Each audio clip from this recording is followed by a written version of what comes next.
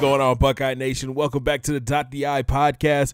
I'm your host, Big C Got Game. Before we get started, make sure you guys go ahead and smash that thumbs up button and join the Dynasty fan by hitting that subscribe button. What can I say? Week three versus Notre Dame. What a way to welcome the Irish to the Big Ten. A 42 to 24 victory in South Bend.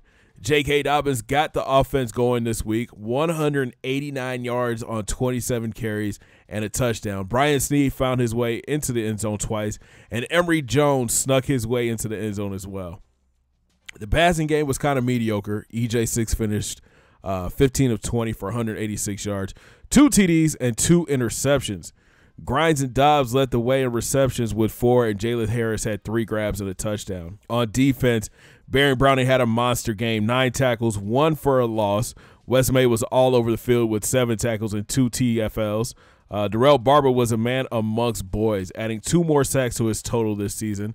The secondary had a tough day, giving up 300 yards passing to Ian Book, but they were able to shut down the running game. Champions this week J.K. Dobbins, wideouts Jalen Harris, Trevon Grimes. On the O line, Wyatt Davis, Brent Grimes, and center Jack Wallaba. On defense, Darrell Barber, Chase Young, Baron Browning, and Wes May, and you could add in corner Kendall Sheffield. Players of the week, J.K. Dobbins with his 189 yards rushing. At defensive end, Darrell Barber. Here's a look at the top 10. Our Buckeyes are sitting in first place followed by UCLA, FSU, Texas, South Carolina.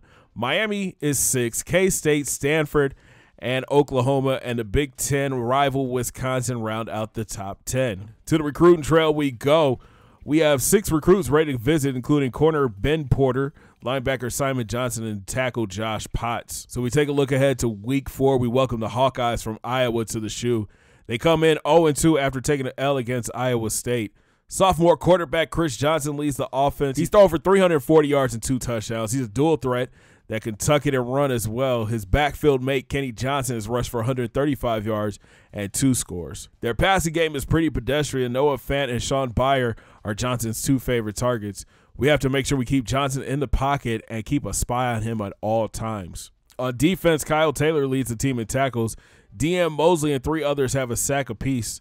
Corners Ferris and Boswell both have one interception. Look for the Buckeyes to use their uh, speed and size against their shorter secondary.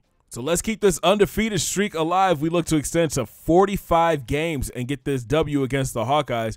Make sure you guys smash that thumbs up button and subscribe if you are brand new. And as always, make sure you guys are following me on Twitter and Instagram at Big C Got Game so that way you can keep up to date on what's going on with the channel and what's going on with the dynasty. And we'll talk to you guys next time. Have a great day, guys. Two fingers in the air. Peace.